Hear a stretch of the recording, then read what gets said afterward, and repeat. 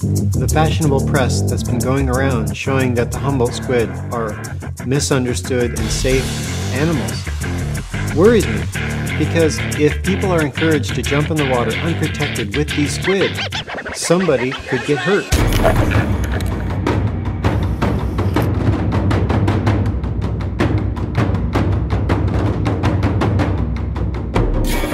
I'd actually done some really serious analysis of what these animals had for anatomical structures that could be used as weapons against me.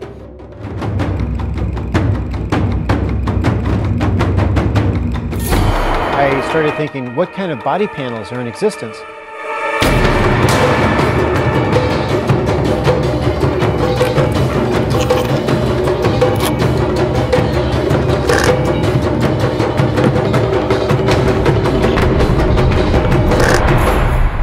If people are encouraged to jump in the water unprotected with these squid, somebody could get hurt.